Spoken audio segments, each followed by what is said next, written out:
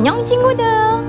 Belly Gum datang ke Jakarta yang merupakan salah satu upaya Korea dalam mempromosikan Busan sebagai salah satu kandidat penyelenggara World Expo 2030 dengan tema Transforming Our World, Navigation Toward a Better Future.